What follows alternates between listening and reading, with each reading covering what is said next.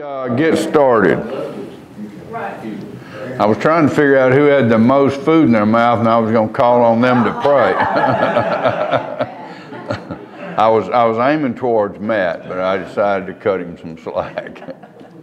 Let's pray. Father, thank you for gathering together in the name of Jesus. Thank you for the beautiful message from the covenant with Abraham and God. Uh, counted Abraham believed God and it was counted to him as righteousness.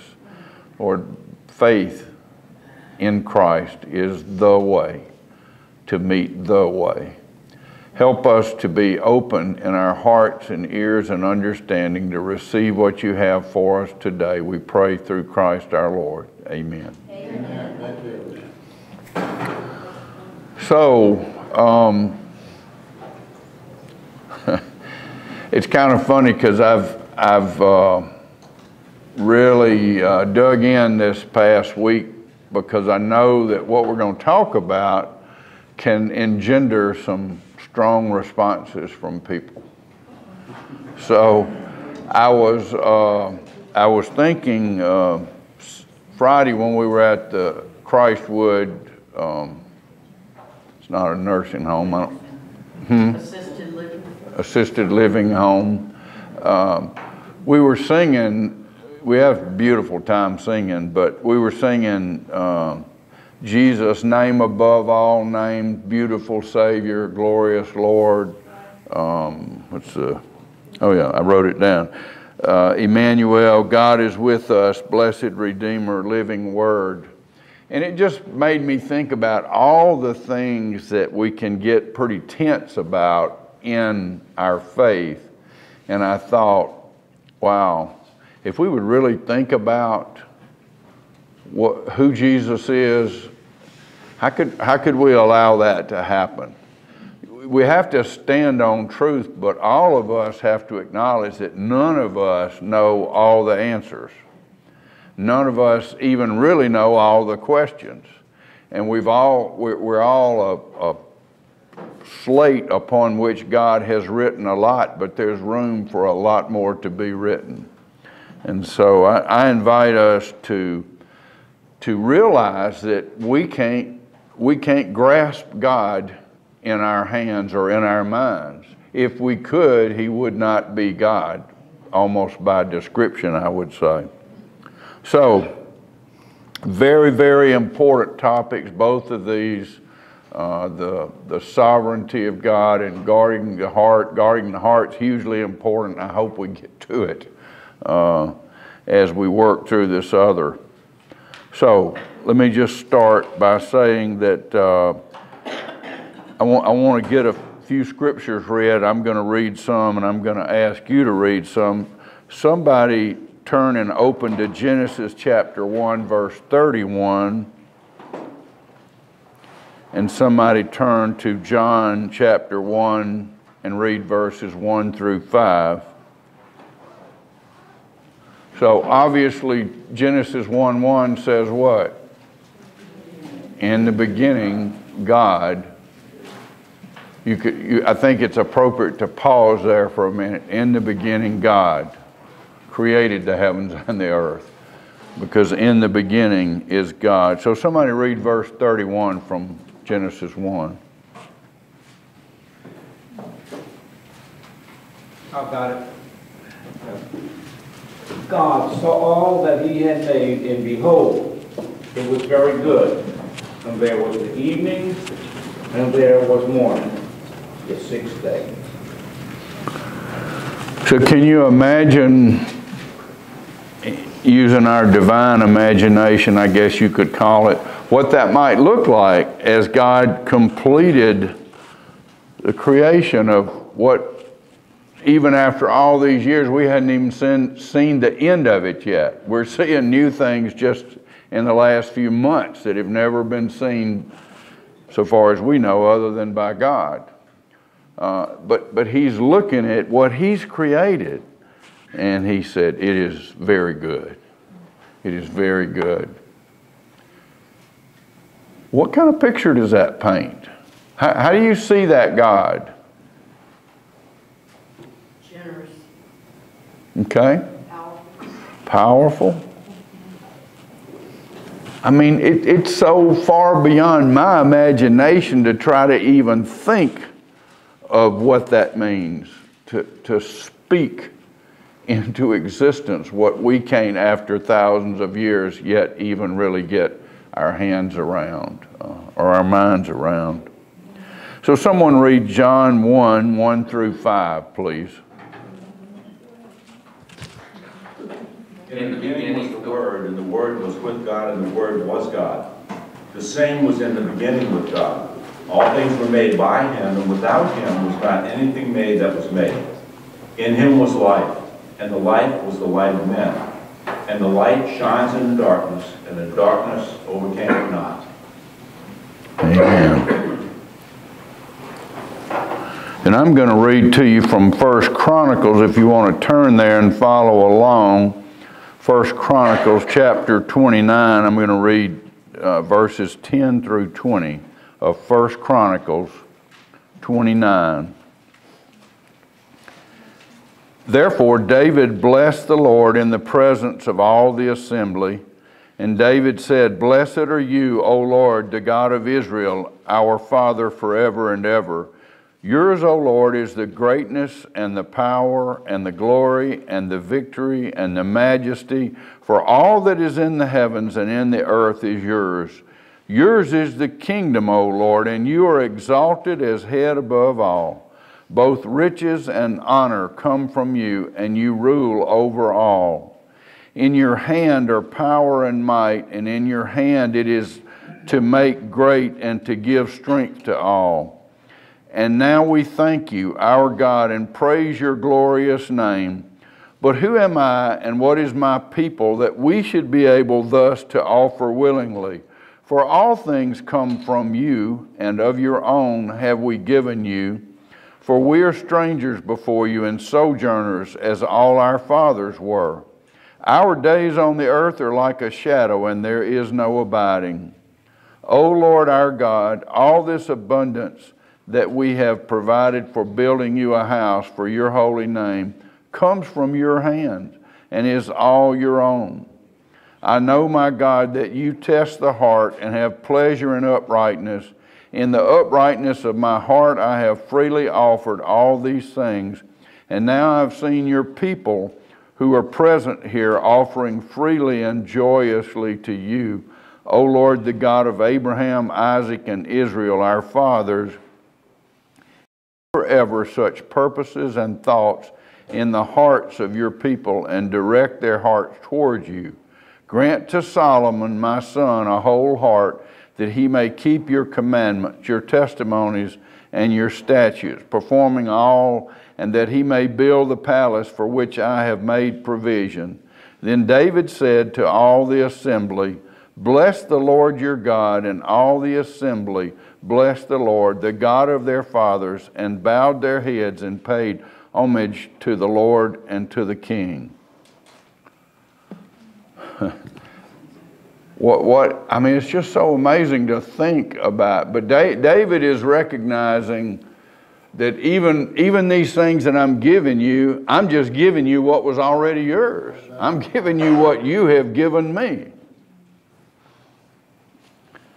So we come to, to wrestle with, and maybe not wrestle with, this, this idea, this truth of the sovereignty of God. Sovereignty is a big word, uh, at least for a country boy, and it, it means that God's in control, period. God's in control. Sometimes we don't like to think that when what's being controlled doesn't go the way that we want it to go. But we either trust God for who He is or we turn and trust ourselves. And I know for sure that putting my trust in me is a huge mistake. And the truth is, it also is for each of us. It's not just me. So we, we can absolutely and, and we must absolutely trust God. I heard a little story, I read a little story about two groups of people that were having this discussion about uh, the sovereignty of God and His decisions. and, and they were all together, and when they started talking about this, they divided into two groups. You had the, the free will people over here, and you had the sovereignty of God destination people over here, and there was one guy wandering, and he came over to the sovereignty people, and, and they said, How did you come here? He said, I just came on my own. They said, Get back, you don't belong to us. He went over to the, go, they said, go to the other group. He went over to the free will group, and they said, How did you come here? And he said, I was sent. And they said, Get out of here, you don't belong here.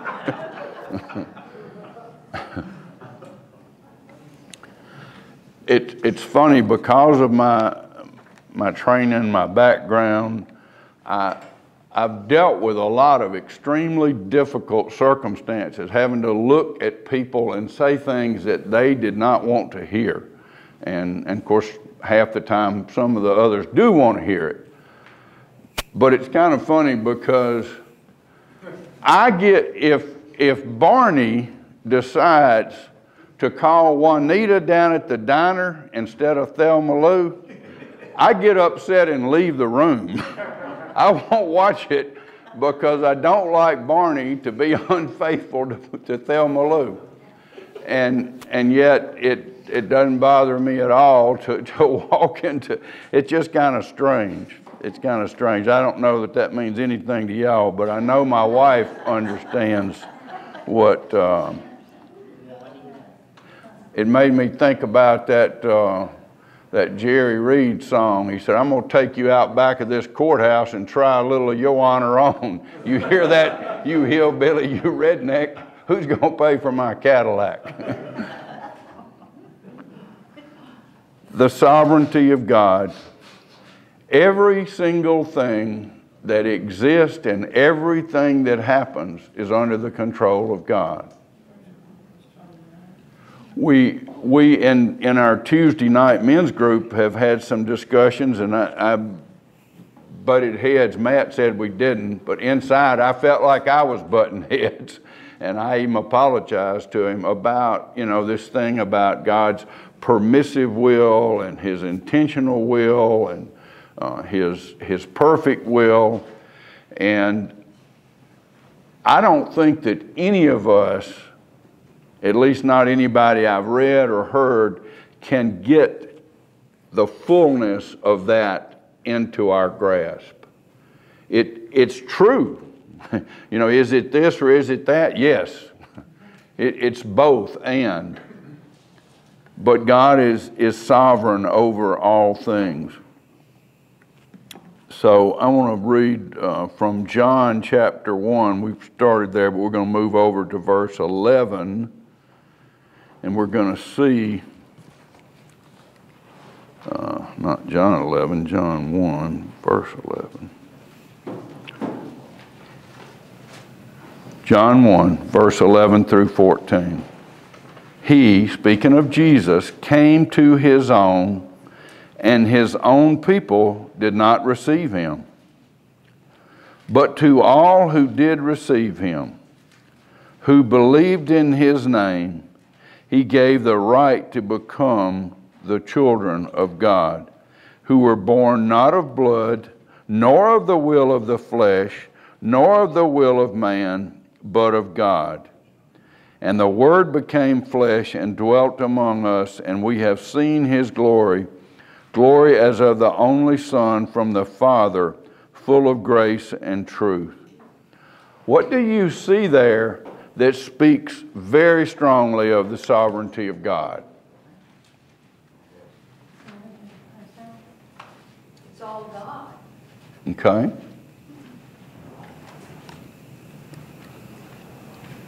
Any, anything specific anybody wants to observe that, that speaks strongly to you of the sovereignty of God from, from these? ver- Okay, Our thoughts before think.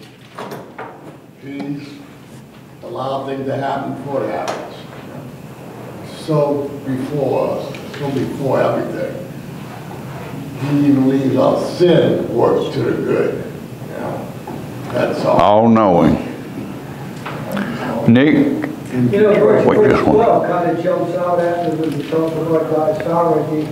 uh, that he gave them the right to become children of God, even to those that believe on his name. That, that, that kind of jumped, jumped out. It did me too. It's kind of hard to miss that, Steve.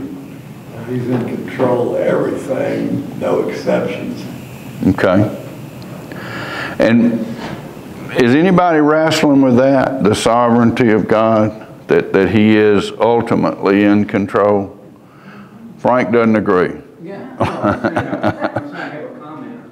And basically, you said he's all-knowing and all-believing, all, knows everything. He knew that his people would reject his son. It Amen. says right here, they did not receive him. You think Yeah. that was a surprise? No. It's, it's hard for us to get this in our mind, but before the foundation of the world, God knew Frank and that he would sing that song with his guitar in church at Mandeville Bible Church this morning. Now, my mind can't take that in fully, but, but it's just as true as, as all the other things. Uh, however, what does, but to all who did receive him? How do you receive Him? We talk about it every Sunday. By faith. What does that require of you, Chris? trusting in the person of Jesus. Okay. We just read Ephesians 2 8 and 9. By grace, through faith, this not of yourselves. So, what, what is your part in that? My part is, is faith alone. There's nothing I can do to earn it. It's a, it's a gift of God, as the scripture says. And I believe somebody read uh, John 6 44 if I'm, I'm hope I'm remembering the right verse. I don't- I don't have that written down in my notes. Read. No one can come to me unless the Father who sent me draws him, and I will raise him up on the last day. So even, even our receiving is preceded by God's drawing, right? So, no, no one, no one can, so there's not anybody in here that's in Christ that has done that except that God first enabled by, by drawing us. Yet it does say in here, and, and as Chris said, who, I, like to say it like this I'm leaving the scripture, but, but I would say that, you know, if God was giving me this bell, my only part is to receive it. I could just put my hands in my pockets and let it fall to the floor. My, but I have to do that. So there is some involvement, but it's all from God. And we have to, to take into our hearts and minds that even though we can't explain it, it doesn't mean that it's not from God or that it's not true. Because there's a lot of things that in God's economy that we accept and we can talk about them. Who has ever explained to you the Trinity at a level where you said, oh, that's crystal clear and I understand all aspects of it? When I really got fired up about Jesus in 1987, I had three different major life changing events in 1987, and by the fall, I said, You know, Lord, you may be telling me something. Um, I came that close to dying three times that year.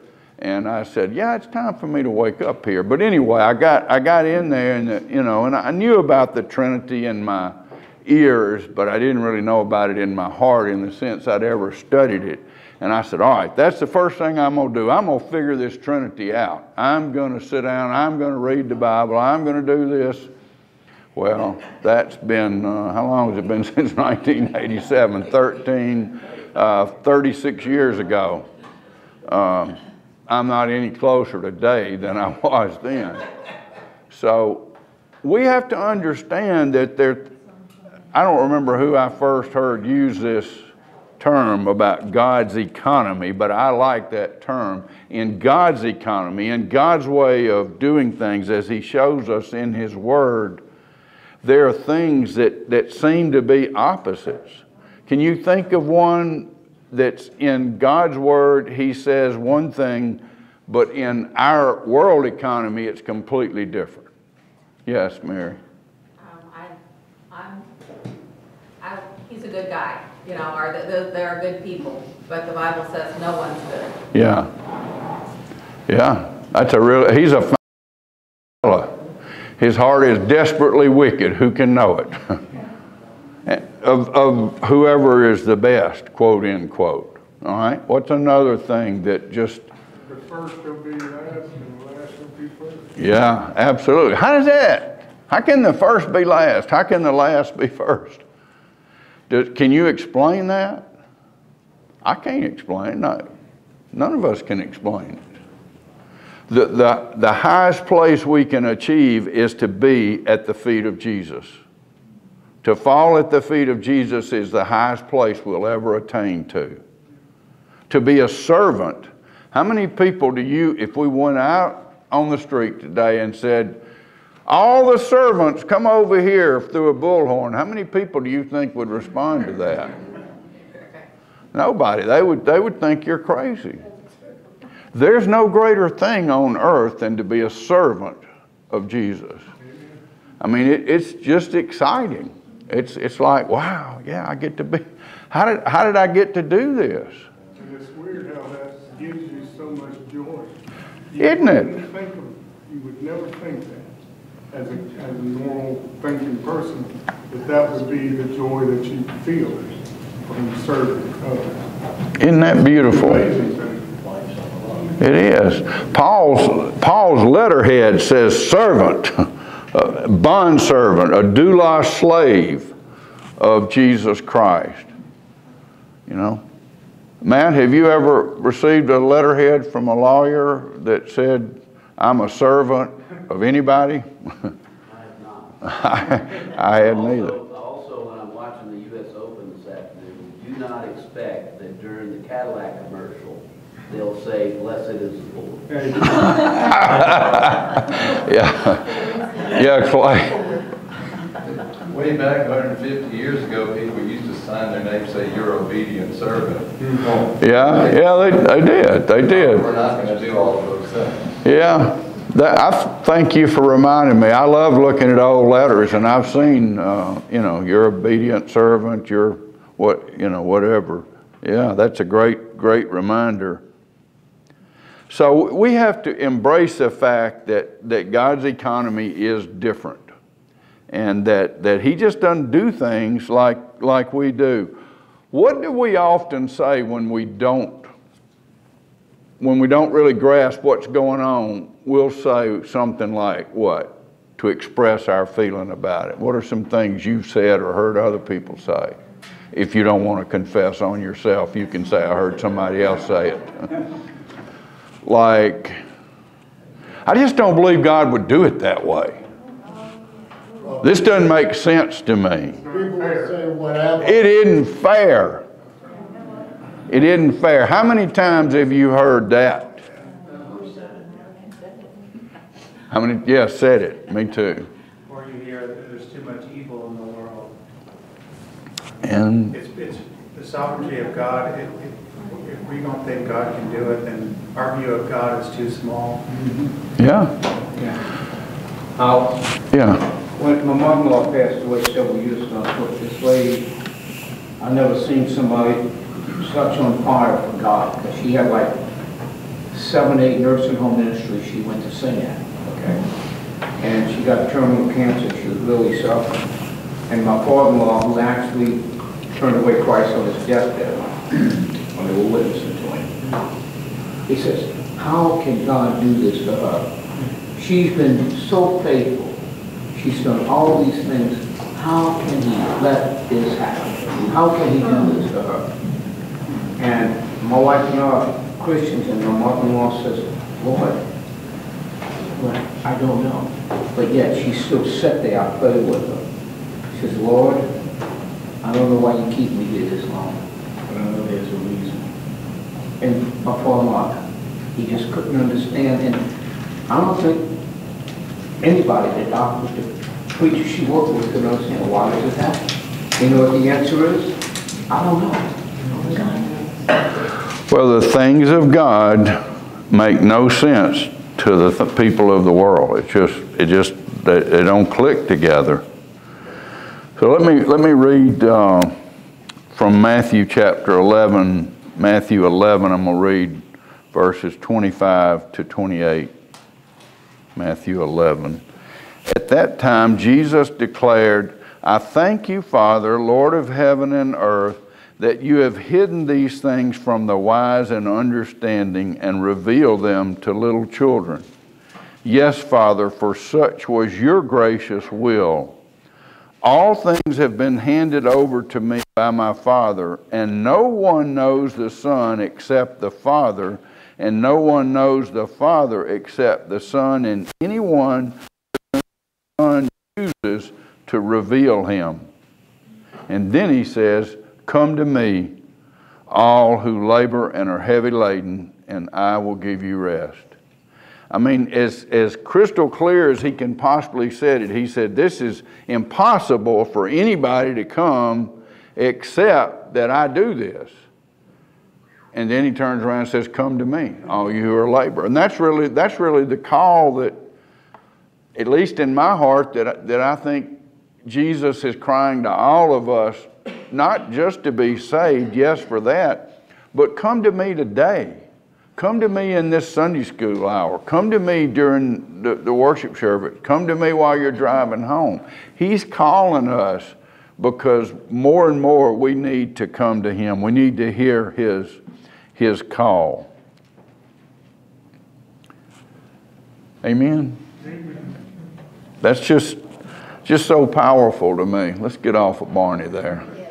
Oh, this is just something I wrote down. If you, I, I didn't make a handout. I don't know if you want a chance to, to write that down. That's got some good information on it. Is it too small to read? Just a bad angle, that's all. Uh, I'll just take a Okay. Yeah, yeah, if you want to, take a picture. Uh, th- This is not really part of the lesson per se, but, but it was something when I was studying this morning that I had in some notes and I wrote it down. It, it not, I didn't come up with it, so I'm not claiming any ownership. God is sovereign over all, or He's not God at all.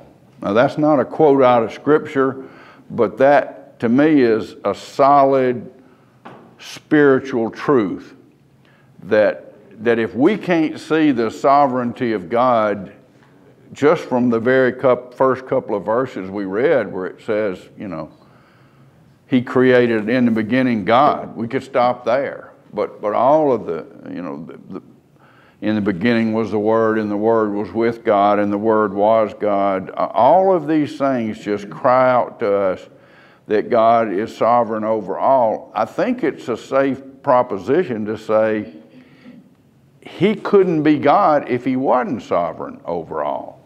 And to be all knowing and all powerful and unchanging and ever present, that answers the question you know, that, that He is sovereign over all.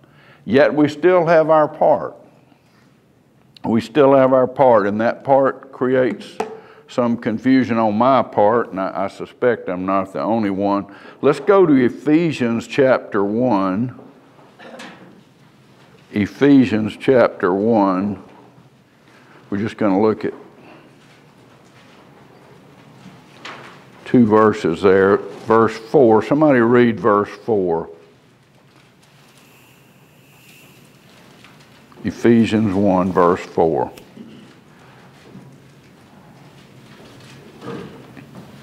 For he chose us in him before creation of the world to be holy and blameless in his sight and in his love.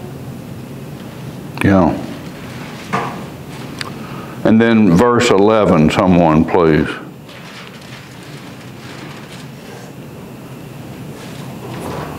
Also, we have obtained an inheritance, having been uh, predestined according to the purpose, who works all things after the counsel of his will.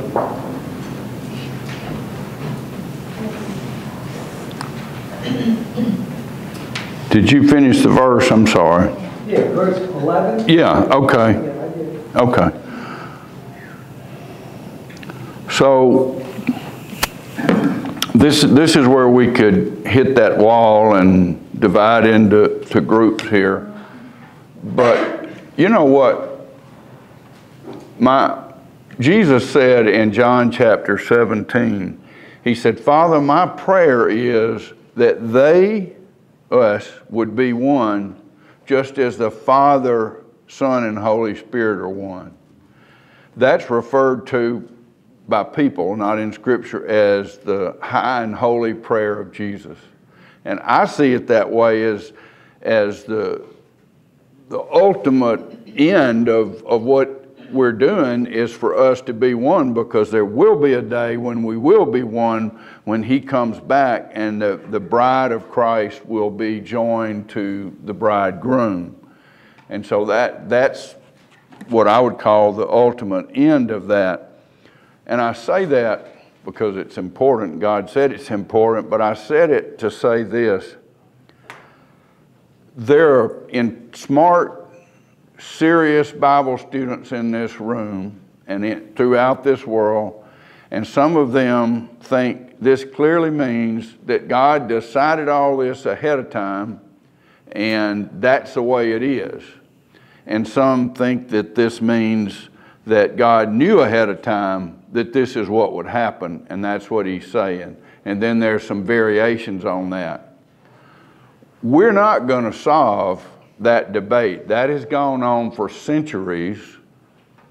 But here's what I think my, my heart plea following up on, one, on what Jesus says is when we come to some, when, when we know that there's only one name given by which we may be saved, when we know that there's one God, eternally existing as Father, Son, and Holy Spirit, when we know that the Word of God is just that, it's not the Word of man, it's the Word of God, in, inerrant in its totality.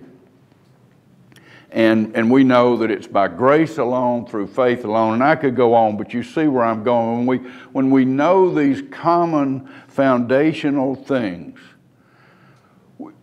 I think, this is just, this is my thinking, but it's based on Jesus' prayer, that we ought to be humble enough and honest enough to say, I don't have all the light there is to shine on this, all the spiritual light. Why don't we walk hand in hand spiritually and be open to see what God may show us different than what we think now? God's not changing. God doesn't change. His word's not going to change. Truth isn't going to change. But because we are sinners and because whatever comes into our mind, it comes through the filter of all the things we've experienced in life. And, and those are things that, that cause us not to embrace the truth always exactly as it, as it is. Or, or maybe you have the truth on that, but maybe you don't on something else. But be willing to humbly say, we want to stand on the Word of God. We don't want to move even one iota off of that. We don't want to, we don't want to let society or the changing times, which aren't changing, they're just old, old heresy, old sin renewed, uh, to, to move us off of truth but we don't have to be in a battle with each other while we're work, walking through this world. And, and if, you know, we come to that spot where it just feels like the, we're just being pulled apart, then, then we can sit down and ask God to help us see the, the next step. I love that in, I think I mentioned, I may have even mentioned this last week, but I love the, the picture of, um, um, the, the word from Psalm 119, my mind just went blank. Psalm 119, Thy word is a lamp to my feet and a light to my path. They didn't have Q beams at that time. I don't know if y'all knew that, but they didn't. And so they would have something like a torch or a lantern, and it wouldn't light any more than my first step, probably. Exactly right. Huh? Didn't have what you said? A, a spotlight. Oh, okay. A Q-beam is a type of spotlight that's got shine two miles or whatever. But this just shows us one step. Let's just take that one step, trusting completely in God and being open to seeing what God shows us where the next step is. And, and not have to be right, knowing that God is right. Who, what did Jesus say when he said, good teacher? He said, only God is good. So none, none of us uh, fit, that, fit that description. I certainly don't, and, and none of us do if we'll be truthful. Am I making sense? I can say amen and thank you for that. So we- we're just, I'm going to leave this, but I want to make sure nobody misunderstands. We're not changing anything. And we're not, we're not saying that anyone should move off of what God has said, but just be humble enough to admit that we don't know all things and that God is still teaching us. It's a process called sanctification. And how long does it last? All. Uh, until we meet Jesus, right? So, I'd like to say something. yes, sir. You know, a lot of times when God tells you to, to move or go speak to this person, you know, you can either do it or miss a blessing. Yeah, amen. And I don't know if you saw the movies, Raiders of the Lost Ark. Probably, I don't remember. Yeah, well, they come to this cherubim, and, uh, when you look at it, it's, you know, a big drop. And he says that you, if you make your first step, and you'll see a bridge across there. So when you look at it, it looks like there's no way I'm gonna go across there. But when you put that first foot out and step on that, then you see a, a, a bridge that goes all the way across there. But the object is that you make, make that first step, Yeah, you know. yeah, amen. That's good. That's good. So, How, if I go to the scripture in Deuteronomy, it's 29, 29. I'm, I was gonna land there in a little bit. Go, no, no, no, I want you to read it. Read it. The secret things belong unto the Lord our God, but those things which are revealed belong to us and to our children forever, that we may do all the words of this law. Amen. So he's revealed some things, and just like with the disciples, when he was telling them of his death, it wasn't revealed to them yet. They find. They Yeah. will. But the truth that we do know, and what we do understand, Amen. we stand on. A, a footnote to that is, and I'm not going to even call his name, but a famous football player from a generation ago, quarterback that was much respected. He, I, I'm divorced, so I'm not putting down on him. I'm not divorced. I'm married, but I have been, and and so uh, that didn't come out too well, did it? It's all the above. I'm a little bit flustered. uh, he said, God just showed me he wanted me to be happy, and so he wanted me to marry this other. We have to be real careful when God gives us a vision, because if it's God's vision, it's going to come out of God's word. It's going to line up perfectly with it. It's not going to, it's not going to deviate from it. So, amen. But I get nervous when, if, if I'm teaching and I'm going to tell you something I think, I say, I'm leaving the Bible and I'm going to tell you what I think. But everything I say, you need to check it against Scripture. We all have that responsibility to each other to make sure that, that we stay on the path. So, this is a picture uh, of I think it's about a 13 and a half hour, well, it's not a picture of a 13 and a half hour flight, but it's a picture inside a very large jet when I was between the United States and Doha, Qatar. And I thought about while I was working on this how this seems to be a good description of how. Now let me back up. It's not a good description, but it's a, it's a, an example that lends some insight to this thing about the sovereignty of God and free will. That's a long time to stay in the air, almost 14 hours, and I'm fidgety anyway. And so uh, getting up and moving as often as I could was one of my favorite things to do. And I was free. That's me. I, I was free to move. Well, there was a certain place forward we couldn't go where the where the big guys sat, but but other than that, I was free to move around. But I didn't have any control over anything. They were in control.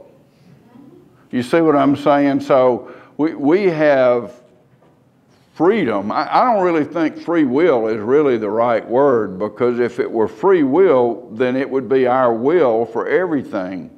For example, I didn't decide when I would be born. I didn't decide to whom I would be born or what continent I would be born on or any of those things.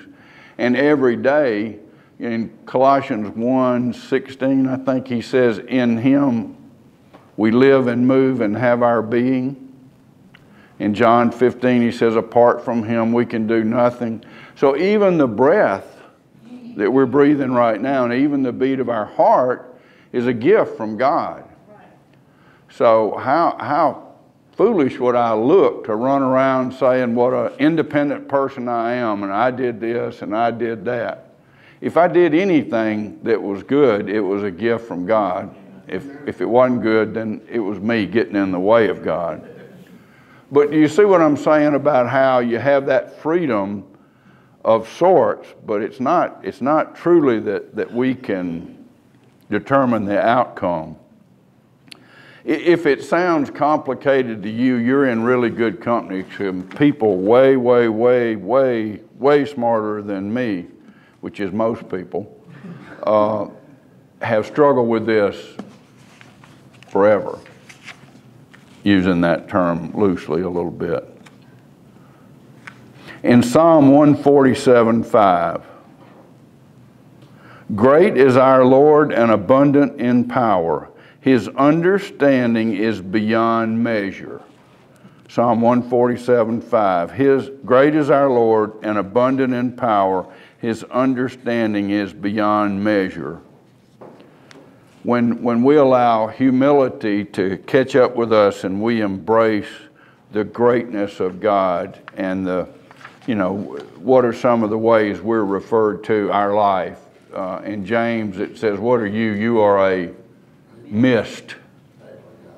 You know, you're like the, the uh, flowers of the field that today are here and tomorrow are gone. Our, our lives are short. I mean, it seemed like about six weeks ago I was 10 years old, but it really does. I mean, it, it seems so recent, you know, but it isn't, is it? I, I don't look like I'm six weeks over 10, do I? I don't think so.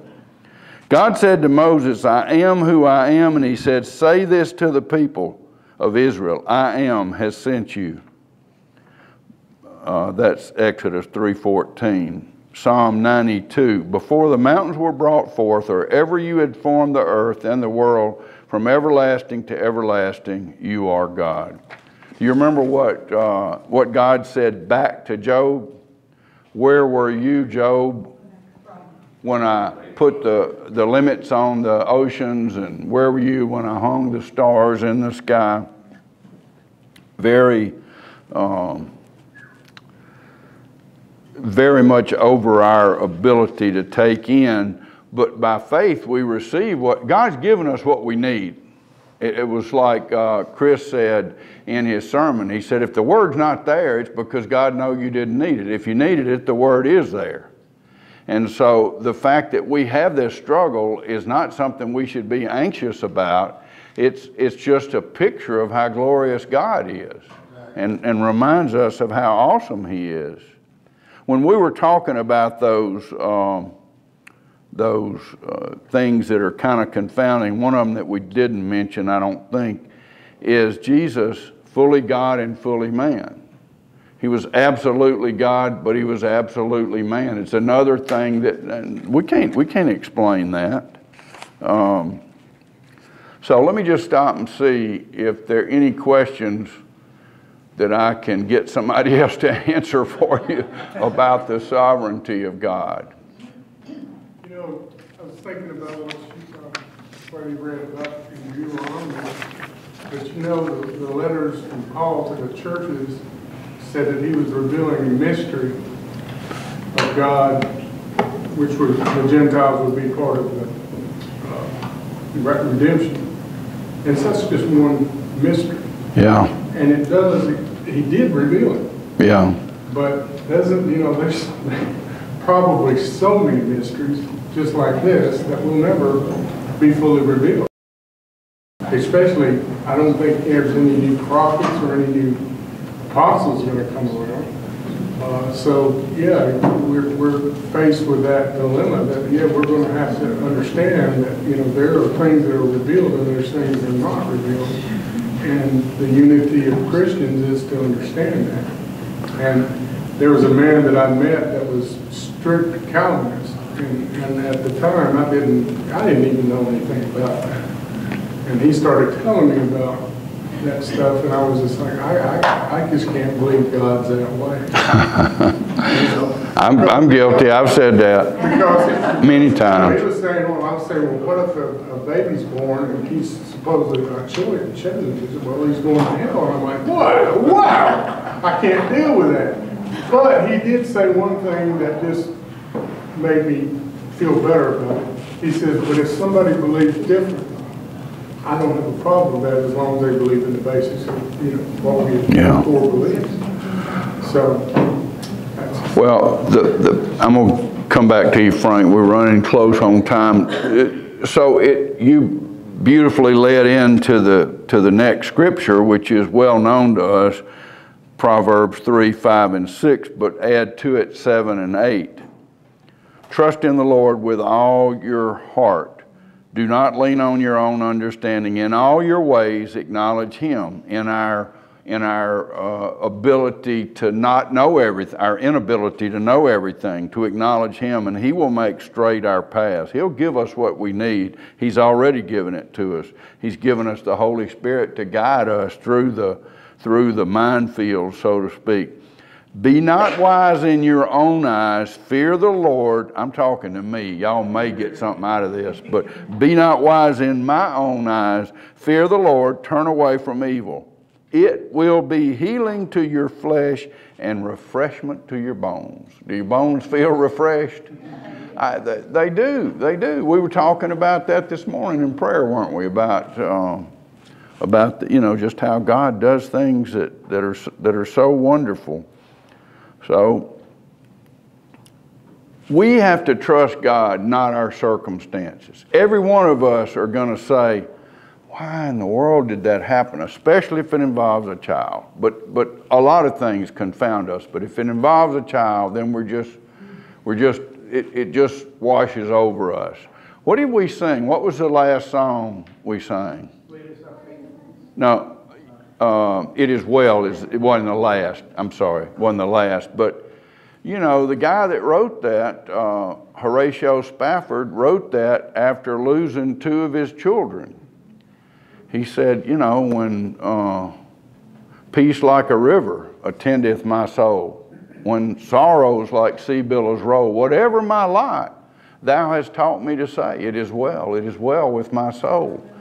And so maybe, this is a big maybe, but maybe some of the things that God, that we see as things we wish were clearer to us, are God giving us an opportunity to, to take that, uh, that one step that you were talking about, you know, to take that step, to trust God, to know that we don't have to know it. We don't have to understand it. We can and we must trust God.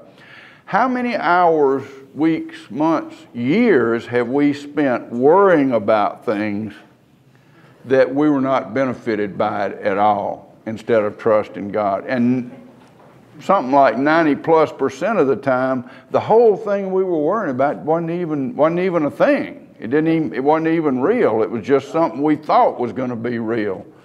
But even when it was real, you know, we can sit over here and worry and be anxious, or we can stand over here in the joy of the Lord and say, I don't understand it. I don't like it.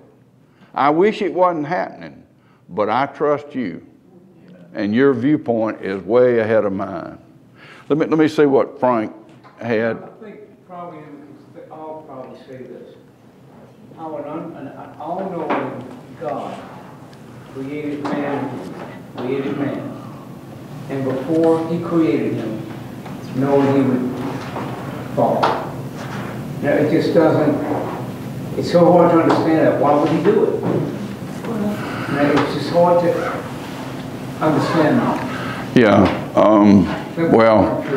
I would, I would love to answer that question like I knew. I, I don't know, but, but I do know that God didn't want to create, uh, well, I think from what God shows us about himself, he would not have wanted to create us as robots that are going to do what, what, you know, the robot says rather than uh, to love him. He's been in a love relationship eternally, Father, Son, and Holy Spirit.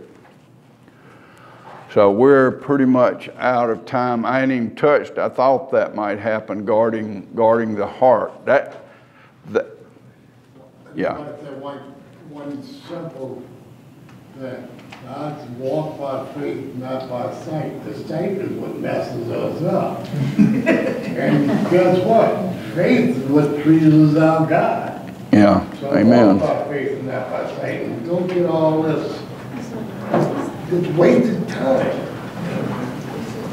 I'm I'm going to bring back if the Lord's willing. I'm going to bring back bring us back to guarding your heart because I, I don't, I mean, the sovereignty of God is one of the most important things we can grasp to ourselves, and the need to guard our hearts, especially in the world we're living in today, is so, so important. And I think there are probably some things that we may be allowing ourselves to be invaded by that we're not even really thinking about. And I hope not. I hope you're way ahead and you've got all those things in place. But I think knowing about guarding our heart is, is that important. We've got a few more weeks to work on this.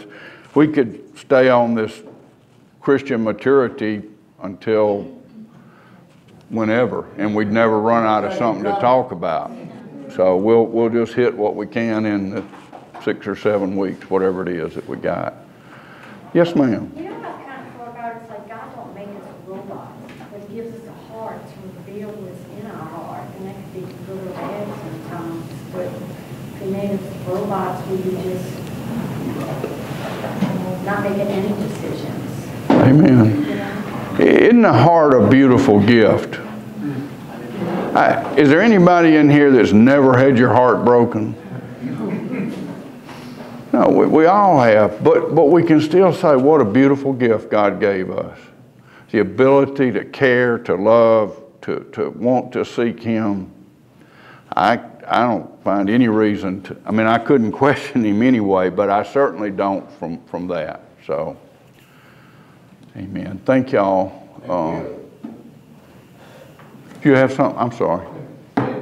Don't, don't break our hearts, maybe next week, we can't hear most of what the speaker, we're not taking away from the speakers when they, different people have things to say, but since they're talking to you, when we way back here, we just can't hear them. I'm saying that because as, as a famous rock star used to say, I know I'm not that unique. I think there might be some other people who are not hearing either. Okay, you- you're not able to hear me. No, we can't hear people. Oh, okay. All right, well, I apologize. So next week, Lord willing, let's speak up, maybe even stand up. uh, But just, just make sure that people can hear us. You might have to, to think about it, Repeat the question. wh- whatever was asked. Yeah, that'd be fine. Good, good idea. Good idea. Should have been obvious, but I didn't think about it. Yeah, I hate watching those uh, post-game things when the, the coach is sitting there and he's nodding his head. You don't have a clue what they're saying, then he starts giving an answer. So I apologize, Clay. I didn't, I didn't think I had become what I didn't like. so, Uh, Steve, would you, would you pray for us to close? Father, we uh, are humbled by the um, picture that Scripture paints of you uh, as the sovereign, most high, majestic God. Um, And we, we honor that and we um, submit to the fact that you're bigger than our minds can bear. And that uh, just makes us, uh, puts us in the right, in the right position.